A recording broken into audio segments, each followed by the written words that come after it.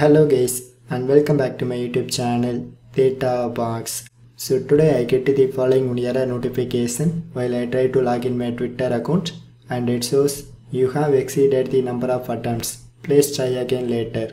So how to fix this issue? And here I show the three methods to fix this error message. And the first method is just one time clear this Twitter app data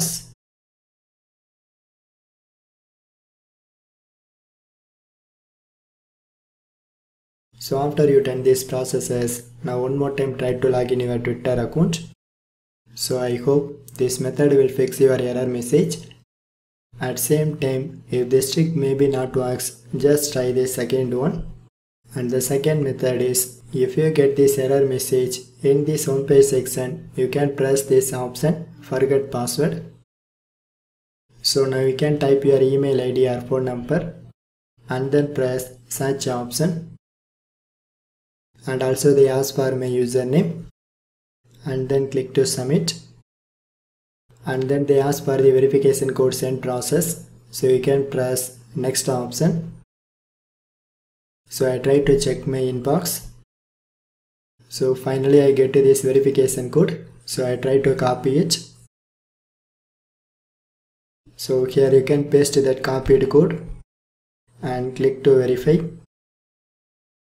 so after you enter this verification code, finally you get to the password reset option. So here you can type your new password.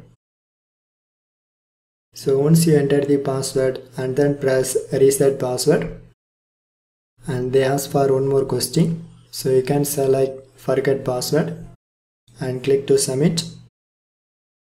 So finally my password is successfully resetted. So next time you can log in your Twitter account by using these password details so I hope the second method will fix that error message.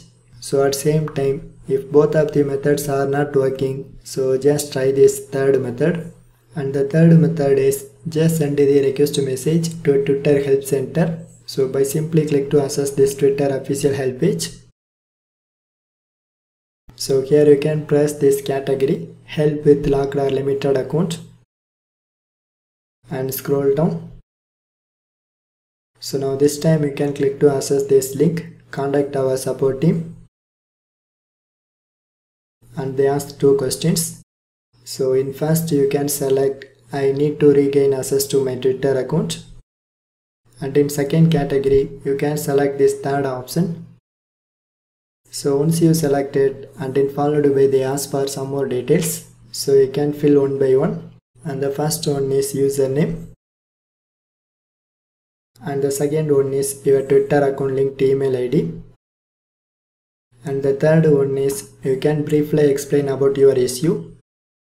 So once you type your problem and finally click to submit this request, so I hope they will immediately verify your issue. So you can wait for the reply message from this Twitter team. So friends, if this trick works for you, just leave a one like. So otherwise, just put your valuable comments so for more tech videos, you can subscribe my beautiful tech channel, Theta Box and thanks for watching.